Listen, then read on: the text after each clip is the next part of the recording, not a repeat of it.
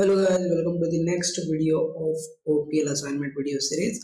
So today we will discuss about the assignment that is biodata, employee biodata using multiple inheritance. So in this assignment we have to uh, first define three classes and from these three, three classes we have to derive fourth class that is biodata and then you have to show the data of employee okay that is biodata so first of all we'll see the class diagram for this program. So, so this is the class diagram. So we have to first define personal record class where I will take four member variables that is name, age, DOB, date of birth and address. So name will be of string type, age will be of integer type, date of birth will be of string type and address will be of string type. Okay, so all these uh, these will have this hash means all these will have protected access specifier as these variables or these member variables are going to be accessed by derived class. Okay. So after this in this class i'm going to define get personal this uh, this function and a member function. I'm going to define for taking the data of or the for taking the uh, value of these variables. Okay. So this function will have void return type and it will have public access specified. Okay so after that next class that we have to define that is professional record. So in this class I will have employee ID, designation, department and salary. These member variables of uh, protected access specifier I will use. Okay. And then I will define a get professional function member function for taking the input of these member variables which which will again have will have the void return type again the, the third class that i will define that is academic record so in this class, I will take qualification, marks, percentage, and passing year. Okay.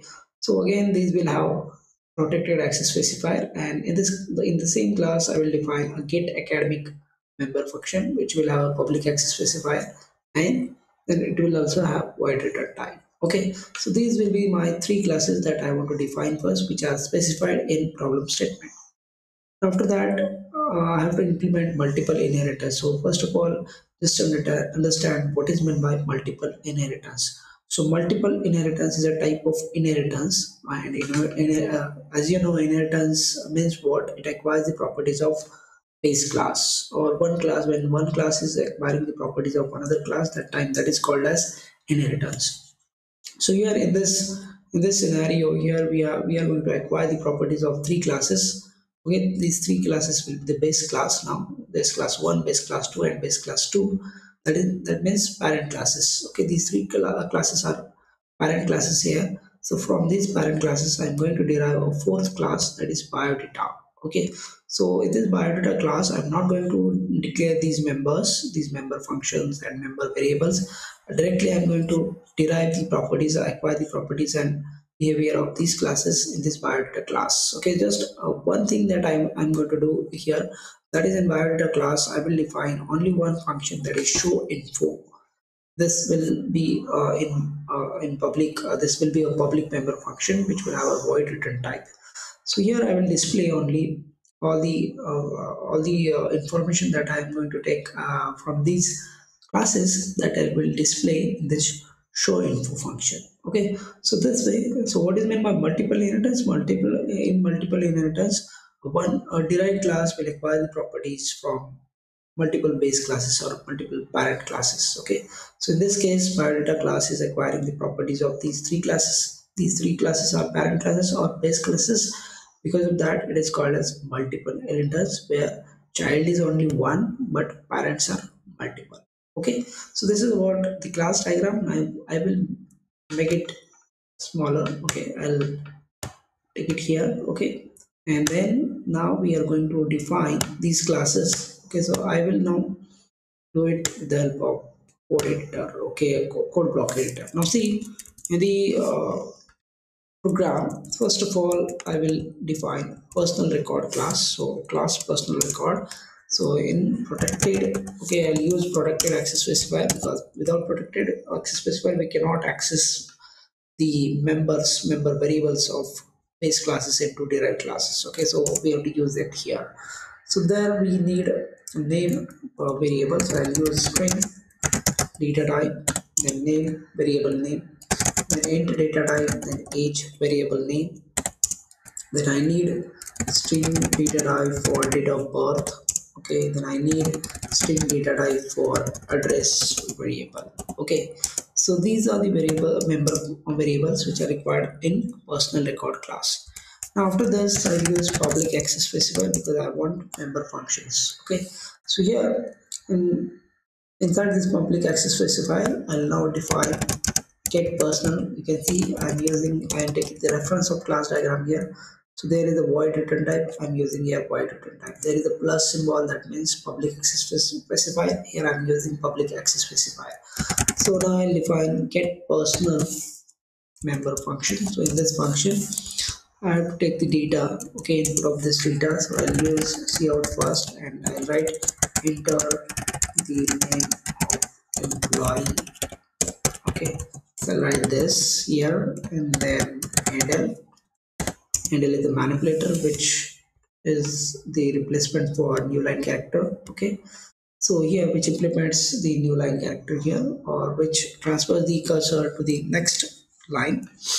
Then after that this uh, I'll take the input okay now I'll take the input with the help of now I have to take the input of what? That is I have to take the input of string. So to, to get this string here I will use getLine function. So I'll use getLine and in this getLine I'll use first the object that is cin and then the variable of string type that is name okay. So why to use getLine because getLine accepts the uh, it allows the blank spaces or white spaces if you use c in and then extraction operator and will write a variable name string variable name it won't accept your blank spaces or white spaces. So because of that i'm using here getLine this is the member function of uh, istring class there okay? That we can use. Okay after this the next thing that I want that is enter the age okay so I'll use here endl or I don't require now okay? Better way I will remove this okay? Better way will remove this okay? And then the in I'll take age I'll take the input of age now. Sorry. Okay. For that I need next variable uh, next value that is enter the date of birth. Okay. So date of birth will be a single string. So that time I can use cin okay. And here I can use directly date of birth. Okay. But see at this time it will lead some problem. So because of that I will use something here. That is cin dot get function I will call here because after pressing enter button here it might happen that it will means this cin will take the enter as a character here okay or blank space will it will take as a character and will store that blank space into dob so to avoid that first of all i will call here get function which will capture the blank space here as a character. And then the cin will take the value of date of birth here okay. So for that the next variable that is for address so enter the address. Okay. So we'll take the address now. Okay. So after this i'll take now get line. Okay i'll call the get line function now. In this get line first parameter will be cin object and second parameter will be address. Variable string variable. Okay. So this way we have taken the input of all the member variables. So now our task has been finished here. So we have defined personal record class here. Okay now we to define the next class that is professional record. So again i will return back and i'll check what are the other okay. So personal record is having again some member variables. I'll use protected access specifier that is required here. And inside this i'll now declare integer i'll use integer variable or integer data type. So emp id this variable i want to declare then i want a string type of variable that is designation. Okay so that i will use here. Then i need department of string data type so department. Okay and I need salary so I'll use integer variable here. Okay so int salary. Okay so this is about the member variables. Now we'll go for the next that is member function. So here I need uh, get professional. Okay this is having void return type and with empty parameters. So this member function I need to I, I have to define here. So that I will define here now. See this function first of all I will display enter employee ID I'll display this okay. So there itself there itself will take the input of empid with the help of empid function uh, empid variable. So after that next variable next value that i want to i want is enter designation. Okay. so i'll use enter designation. And here designation will have a space so that i will call get line and first parameter will be cin. And the second parameter will be designation. Okay. It might happen that in some uh, designation there might be a space. Okay next I will use enter department so department may also have space. So because of that I will call get line. And use first parameter cin and second parameter will be my department variable name. So then next fourth parameter fourth is salary so I'll use enter salary. Okay so here I'll use cin and then salary variable I will use. Okay, so this way we are defined the second class that is professional record. Now first, third class that we already defined that is academic record. Okay, so at this time, now again we'll go back okay and we'll see what are the members in academic record so again i'll use here protected access specifier right now okay so we need protected access specifier inside that. There is qualification. Okay so i'll use qualification. Okay i'll declare this string type of variable. Then there is int uh, marks variable which will have integer data type.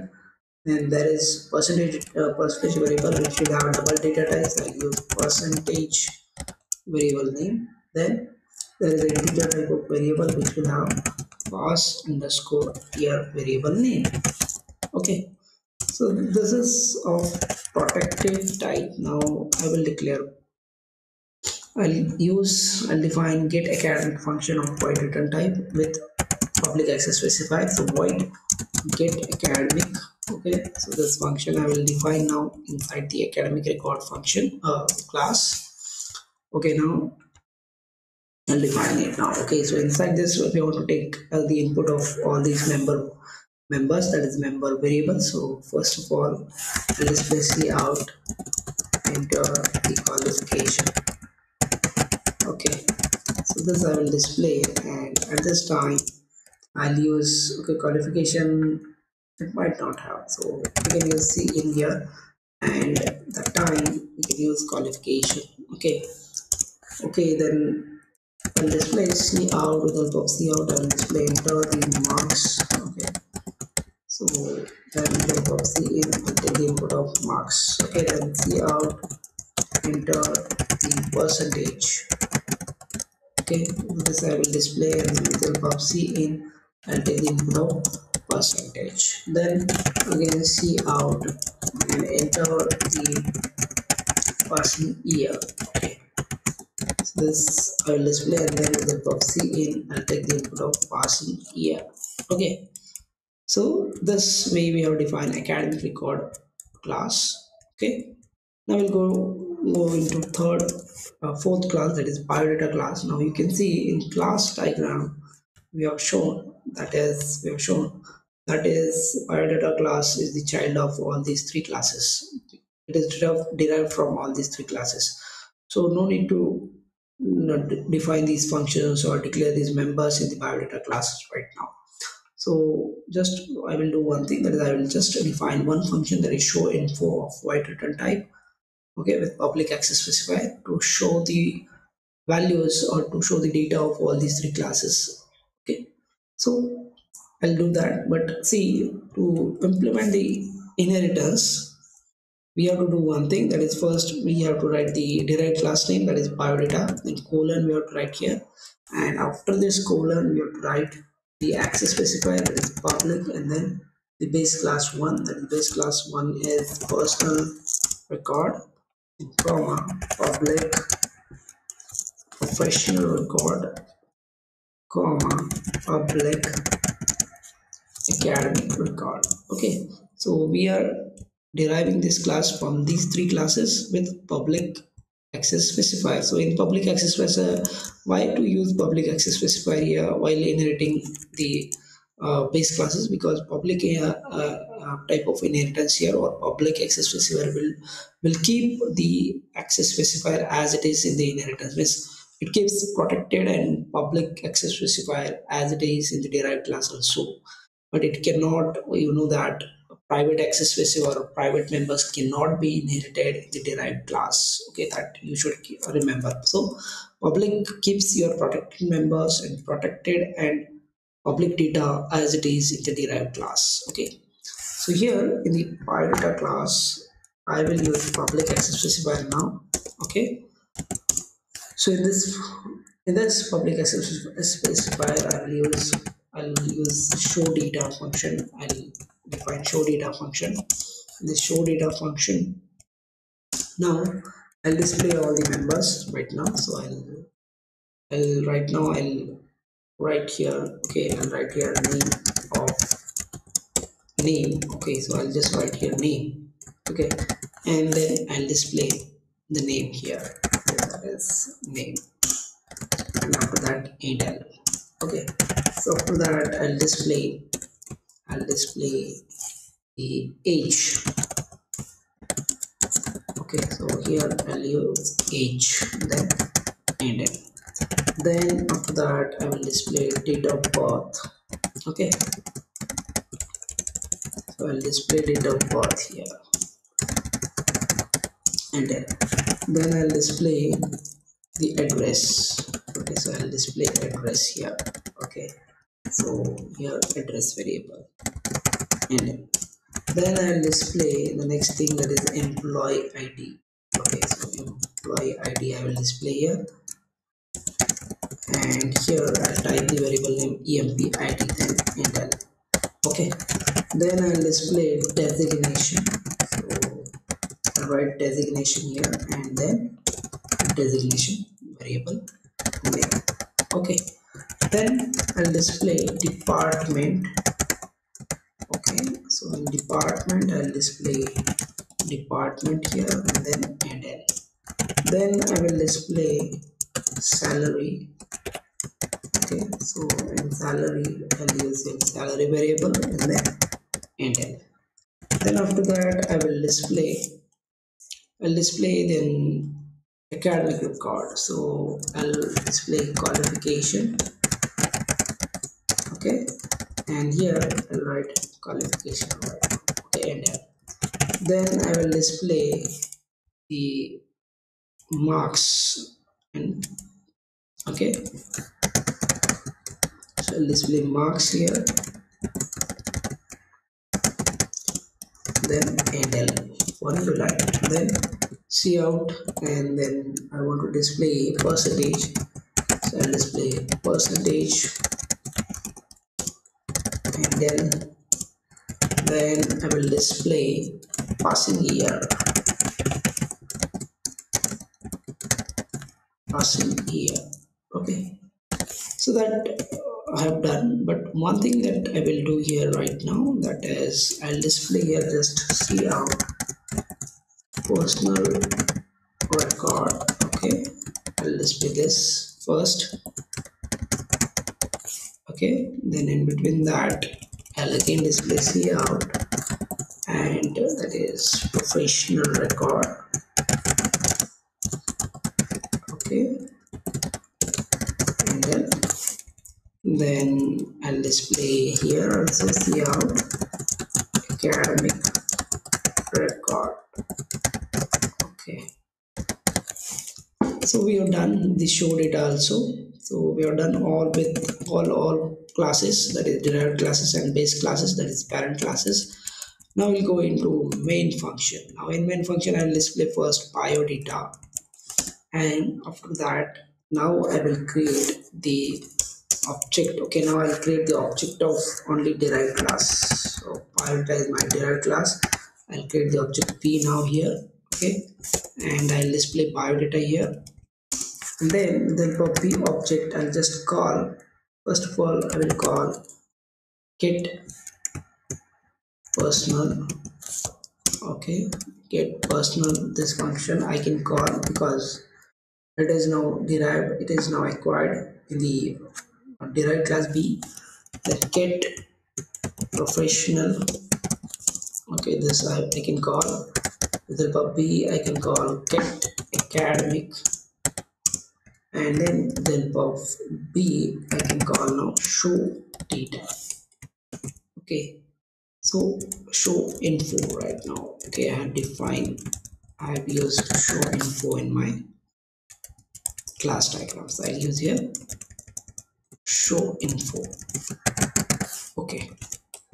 So this we can do. Now see. Now we'll compile the program and we'll see how it is giving the output. So see I'll compile this first. Okay so what is happening here is showing expected primary expression. Okay. What is there yeah one angular bracket is extra angular bracket is ins inserted. Okay so everything is okay now I'll run this program okay biodata enter the name of employee. So I'll enter my name. Age suppose 28 date of birth 1 8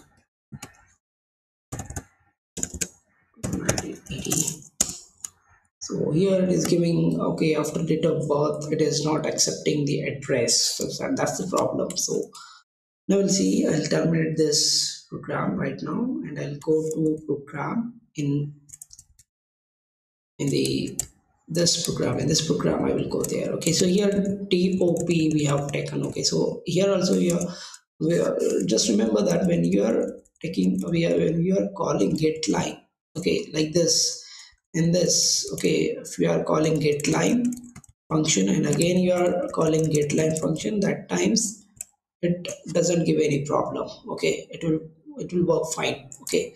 But when you are calling first uh, with help of extraction operator operator you are taking a data okay? You're taking a value and after that you are accepting the string with our data the value with the help of get line that time it leads to the problem. That is it, it will generally it, it, it will throw the space blank space here and that will might be caught by this get line here. So to call, catch the uh, blank space here i'll call get function right now. Okay so empty get function i will call so that now our problem problem will be fixed. Okay now write now i'll write you can see I have given the space between these two strings okay? So it is accepted okay? I'll into the age then 0 to 0 9 1981 so address now it is accepting the address. So now we can we I can I can write the address like this Maharashtra India Asia okay? For 11005 you can see. Okay so it is accepting the whole whole string here. Okay with the, with the including the blank spaces. Okay employee id i will enter here suppose 03 into then now again in the in the designation it is having the problem. Okay so in the designation we'll do the same we'll do the same again into the designation. Okay so in the designation where is the designation so see, you can see the designation. Okay, in the designation, what is happening here? We have not called get because previously there is a there is a uh, extraction operator that's cin with the extraction operator. so here also we have to call get empty get function again we'll check whether we require a, a, a any, a, any place okay so after salary you can see after salary we are taking qualification okay? So we also need the function here also that is cin dot get okay? I'll take here get also okay? So at this time again I will now run this program. Okay so right now I will enter the name okay so to zero nine okay then enter address Maharashtra India Asia four double one one zero zero five. Okay, employee I will enter three. Oh no, it is accepting designation. So assistant, assistant professor. Okay, now it is accepting department also. So computer engineering. It is uh, it is uh, wants salary. So uh, oh, salary it works fine. Enter the qualification. So ME software engineering. Oh, for ME, I have not taken any GitLab. Okay, so qualification I have not used. So ME CSCD. Okay, so marks 900 and percentage 98. Okay, so now press enter. Passing year suppose 2000, and now I'll press enter button. Now you can see here personal record is displayed. Okay, everything is displayed here well. You can see whatever we have entered it is now displayed here free designation everything you can see you can see you can see here okay so this way you can do the program in multiple inheritance okay the biodata program employee biodata program you can implement you can write you can implement with the help of multiple inheritance concept okay so if you are having any doubt, you can post your doubts in the comment section. So thank you for watching my video. Bye-bye.